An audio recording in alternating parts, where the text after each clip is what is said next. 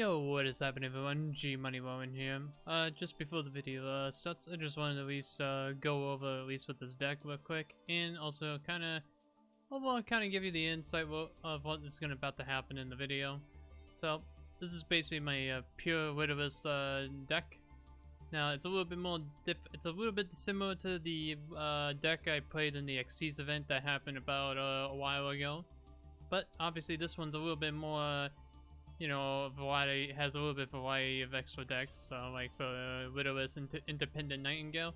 Uh, reason I have two because I also have Instant Fusion, which allows me to special summon out one of the copies, which I can either use it for, I can use it for some uh, extra deck plays, like to go into another uh, Lyrilusc uh, Xyz monster.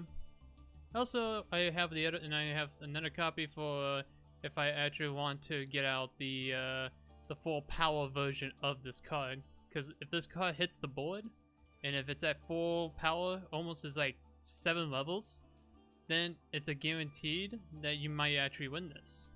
Because it's pretty much unaffected by card effects, and it does massive burn damage depending on how many levels it has, and it depends on the Xyz materials that was used for its fusion summon.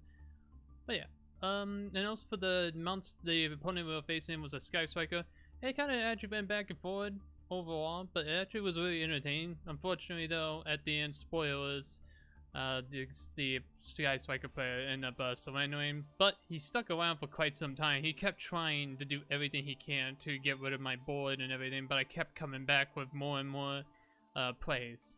Now, I think there was some misplays in this match between me and him, uh, so do keep that in mind if you do see some misplays. But yeah, overall though, it was a pretty fun one, and I hope you enjoy the rest of this video. Peace out.